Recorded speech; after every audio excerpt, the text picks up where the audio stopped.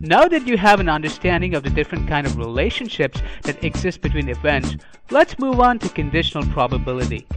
Conditional probability, as the name suggests, deals with the probability or likelihood that an outcome will occur given that a certain condition is met. Let's say you've registered for this huge exhibition that has over 100,000 visitors. You need to sign in beside your name at the entrance to get your visitor's tag. If you were to scan the entire list to find your name, it would take ages. But if I can place certain conditions, such as it starts with alphabet E and is under the student attendee list, it would make life so much simpler as we've considerably narrowed down the search. Conditional probability does the same thing. It makes large sample spaces smaller, so you can easily work with them in real life. I'll illustrate this using a very simple example. I have 10 cards placed in this box right here, numbered from 1 to 10. I'm drawing one card in random. The question is, if I already know the card drawn is greater than 3, what is the probability it's an even number? Now since we have a total of 10 cards, I'm first going to draw all of them. Here they are. 1, 2, 3, 4, 5, 6, 7, 8, 9, and 10. Now I'm told that the card picked up in random is greater than 3. It's a piece of information already given to us.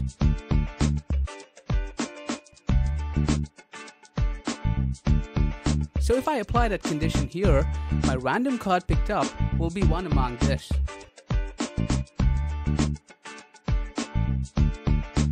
The 1, 2 and 3 are simply knocked off from my calculation. What this does is to narrow down the possible outcomes in my experiment. Instead of looking at 10 cards, I'm only concerned about 7 cards now. Let's draw our new sample space.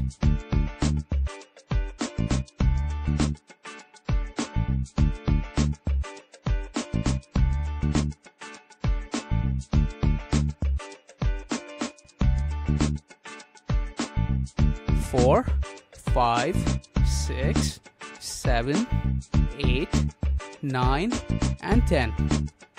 And our task here is to find the probability an even number is drawn from these set of cards.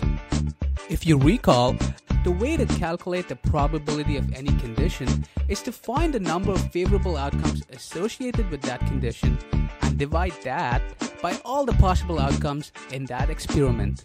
So probability of a card being even given it's greater than 3 will be favorable outcomes divided by total outcomes.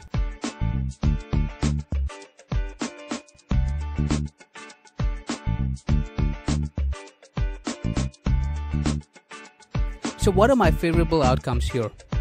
Even numbers in this set of cards.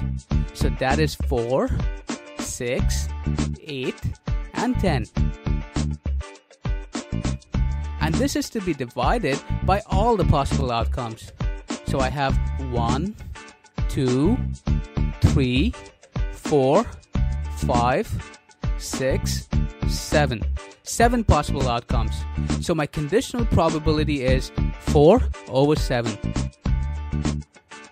So what we'll do now is to represent conditional probability using an equation. So it'll be easier to just plug in the formula when working with similar problems. When I have two dependent events A and B,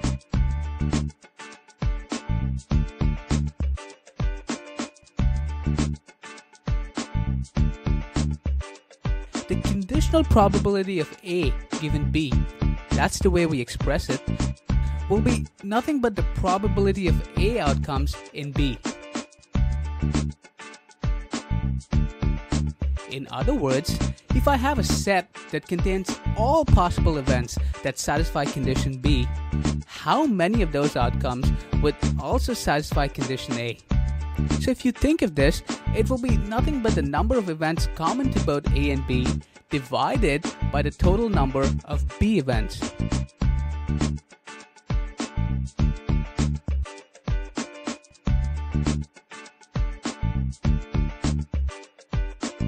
Take the case of our earlier card example.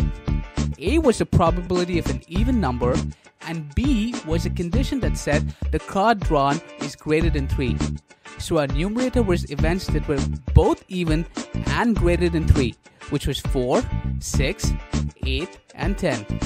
And the denominator was the total number of outcomes that satisfied condition B, which was all cards greater than 3. So my numerator can be written as PA intersection B, common to A and B, divided by the probability of B, which indicates the total number of B events.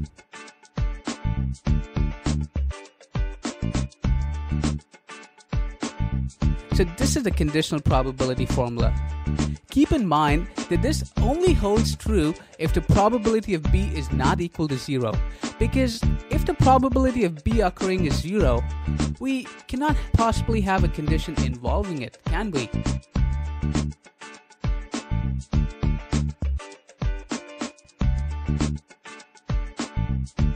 So in my early example, where I had a box of 10 cards numbered from 1 to 10, Instead of placing a condition that a random card picked up from the box is greater than 3, if I place a condition that the card picked is greater than 10, that would be completely meaningless, wouldn't it? As such a condition could never possibly exist in that particular experiment.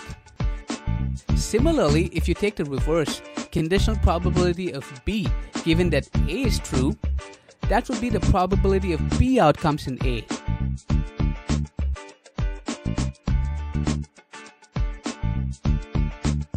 or PA intersection B divided by the probability of A as the condition set by us now is all outcomes favorable to A and we're looking at the likelihood that B occurs in A.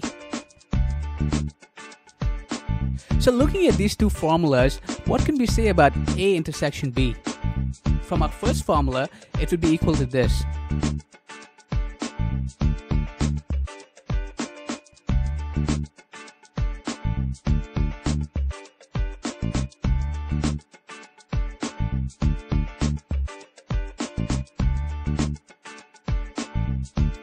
And from the second formula, it would be this conditional probability of B given A into P of A.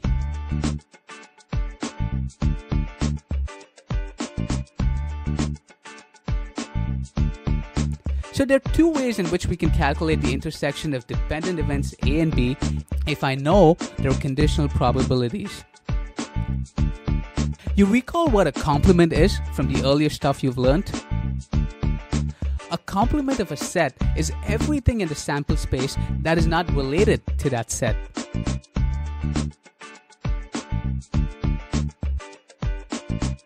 So the probability of complement A is 1, which represents the entire sample set, minus the probability of A. So by applying that same logic, complement of the conditional probability of A given B would be this, and it would be nothing but 1 minus the conditional probability. So far, if you looked at the card example, we talked about dependent events, as the outcomes of A and B were in some way linked together. But what would happen when we deal with independent events, where the occurrence of one event has absolutely nothing to do with the other event?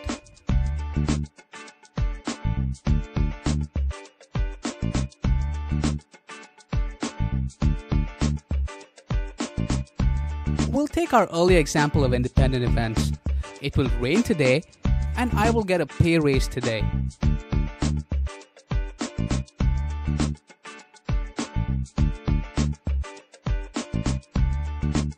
Since these two events are completely unrelated, what would be the probability of rain today if I get a pay raise? It would still be the actual probability of rain, as you're getting a pay raise doesn't affect the weather outside.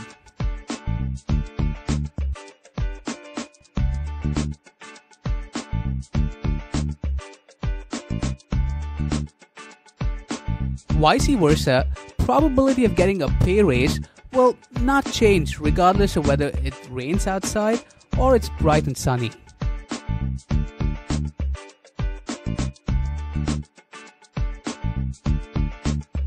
So when I have two independent events A and B, the conditional probability of A given B will be the probability of A.